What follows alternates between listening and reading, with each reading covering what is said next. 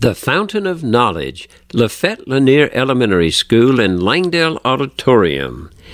This episode coming to you now, episode 35 of season 1, will have great lessons from my trip back to my hometown in Alabama to these wonderful buildings and the people that filled them for years. This is Daily Dose of Darryl Viewers Digest, all seven segments in one, May 30th through June 5th, 2022. Remember to open the information section. You can scroll down to the link to go to any particular day without watching the entire week. Also, we do have QR codes for the channel and QR codes for the website sit back and relax and learn some lessons from these wonderful buildings and the people that fill them for generations. Monday Magic. The real magic is in our heart. Develop a caring vision for the future.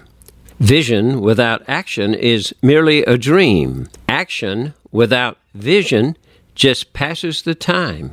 Vision with action can change the world. What a great school and auditorium. Wow. It began in 1935, the Lafayette Lanier School, nurturing a lifetime of learning, and I would add many lifetimes of learning.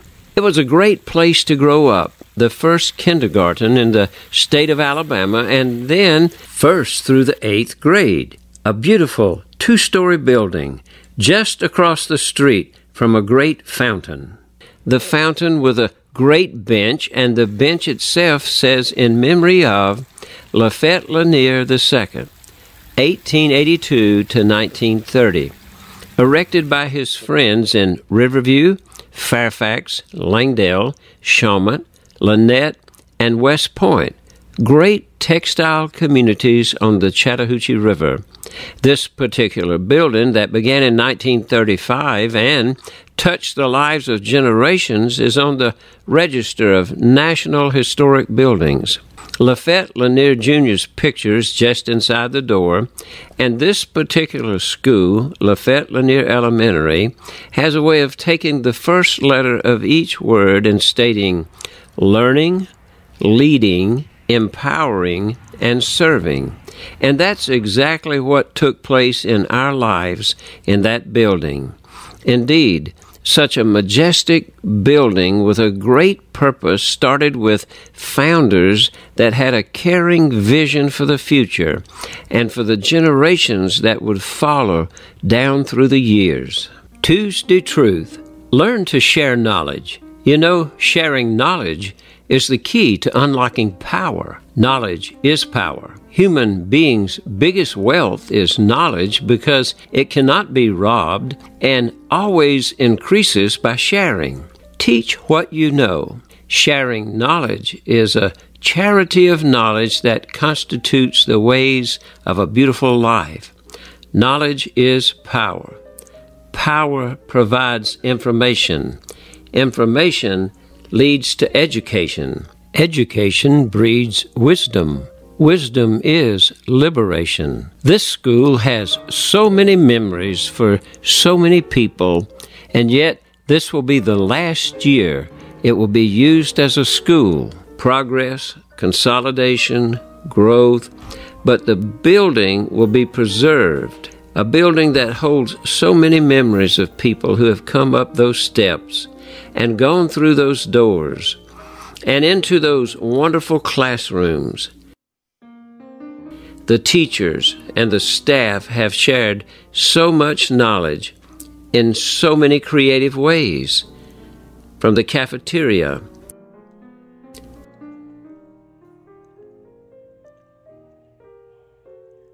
to the library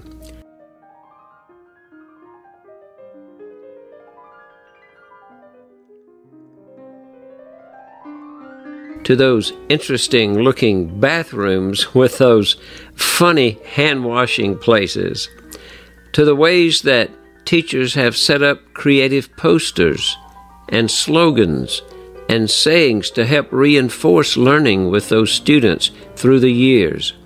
Yes, teachers and staff sharing knowledge and giving power to those young minds, our minds.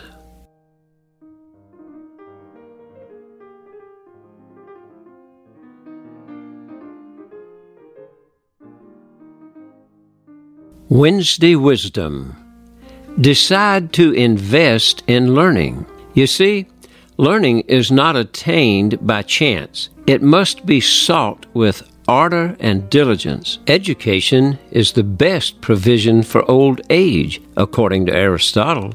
And each of us is getting older every day. More and more, we appreciate those early days of education the older we get. From the basic ABCs of learning, cursive writing, and learning to read, reading gives us some place to go when we have to stay where we are our minds can travel. And through the years, so many teachers and students have come, and many of the retired teachers have come back and sometimes help. But remember those classrooms that would not only teach us math, but help us dream and sparkle and shine. And the many ways those teachers use those classrooms to bring us so much. And now, they're beginning to pack everything up to go out of the building to no longer teach there. The books, the classroom materials, the desks, the decorations, the posters, and even some of those Christmas trees are still there.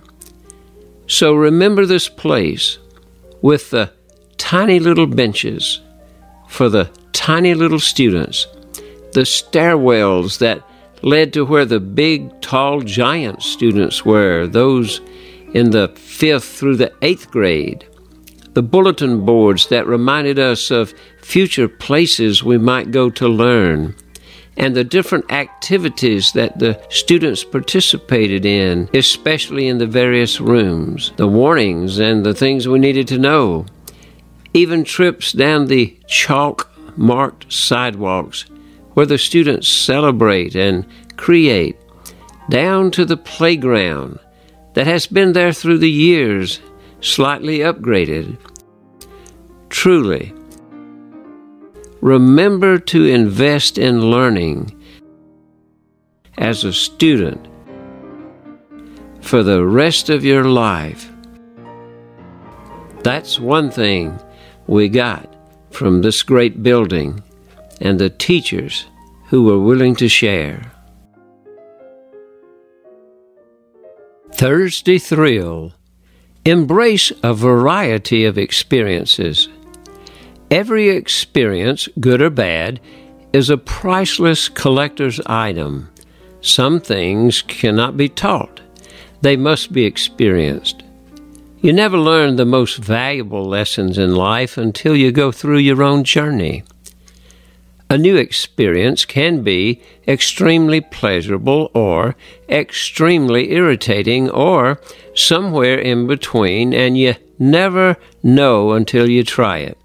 That majestic building in 1935 added a great auditorium and theater in 1937, and the steps leading up to that theater led people, students, many times to assembly programs but also the general public, to movies, to plays, to productions off Broadway, music, dance recitals, magic shows, and so much more.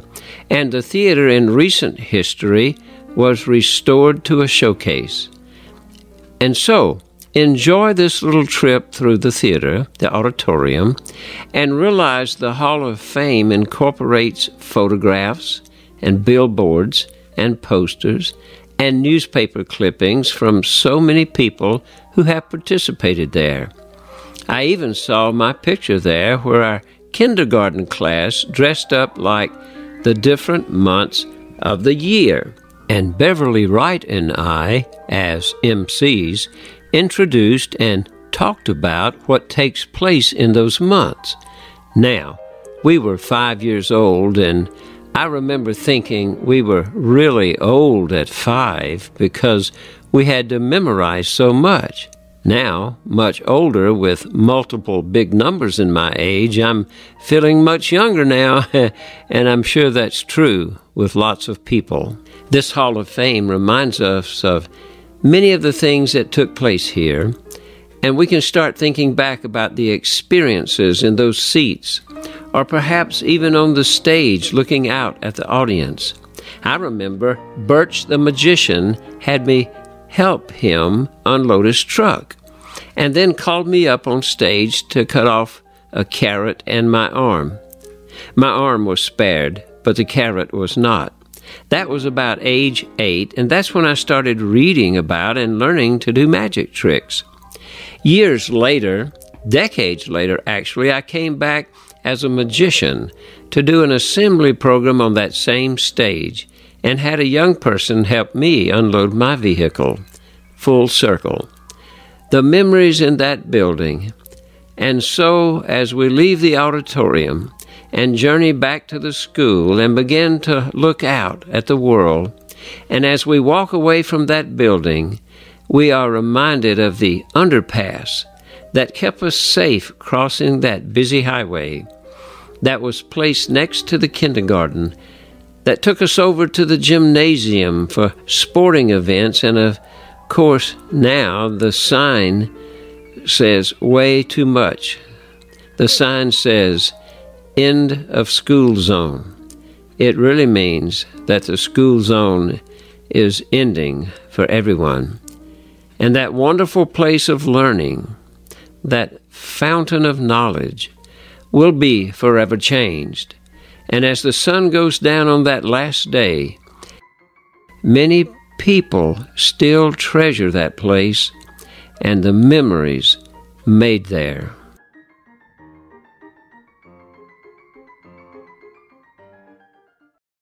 Friday Flashback Impact the world a little bit at a time. Big things consist of many little things, and you have to achieve the little things first. Great things are done by a series of small things brought together. Even Vincent van Gogh knew that in his artwork. While it may seem small, the ripple effect of small things is extraordinary. Great things are not done by impulse, but by a series of small things brought together. We all began in that school or one of the many other schools like that in those textile communities. Not just Langdale, but Shawmut and Fairfax and Riverview and Lanett and West Point and Huguley. And so, whether it was a dance recital or the production of a wedding by young children, we all grew up and learned so much. And even that class of 1967 came back for a 50th anniversary reunion and just like that, five years later, it was the 55th. We all went to different schools, but many of us went to Valley High School. And many of those people that went there with us, dozens and dozens of them have already finished up this life and have gone on to the next life. But you know, they have made an impact not only on us, but also on the world. Many of us have gone on to become teachers and chiropractors and attorneys and ministers and manufacturers and players in the NFL and so many other areas of life that have touched others and made an impact, one little bit at a time, until we come full circle to the 55th and we look around and think, we haven't changed a bit, but the world has. Okay, so maybe we have changed just a little bit from those early days at Lafayette Lanier Elementary School and Shawmut and Fairfax and those other areas. One of the things I did at this reunion was to put together an arrangement of flowers to not only share at this 55th high school reunion, but to put it on Sunday morning at my home church in memory of my mother's birthday that took place that week. Because each of our parents had the foresight to make sure that we went to a good school and they were involved to make sure we had lots of not only knowledge and education, but also many other activities. So, thanks to not only the teachers and the staff and our fellow students, but to our families, especially our parents who did so much so that each of us, with each and every little bit, turned out to be a really great life. And our class made a big impact on the world and continues to make that impact today. Saturday Summary Monday Magic Develop a caring vision for the future that will help others. Tuesday Truth Learn to share knowledge with others in such a way that you both can grow. Wednesday Wisdom Invest yourself in learning something each day that will stay with you for life. Thursday Thrill. Diversify your experiences so that you will be well rounded and balanced for life with others. Friday Flashback.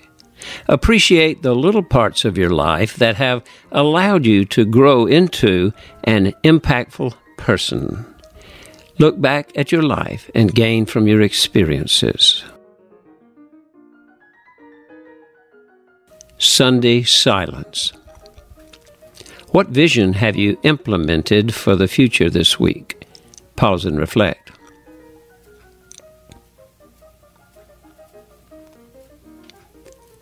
What knowledge have you shared with others this week? Pause and reflect. In what ways have you invested yourself in learning something new this week? Pause and reflect. How are you building on the small parts of life in order to make an impact on the world around you? Pause and reflect. How are you experiencing a variety of things this week? Pause and reflect. This is Darryl R. Peebles, the man behind the microphone, bringing you something positive, personal, and professional every day from the Peebles Motivation Bureau. All three divisions Digital, real life, and print division are active for you. Give us a call and let us know. Locally ordered books, if you contact me directly. Some have already gotten this book and started their journey of growth.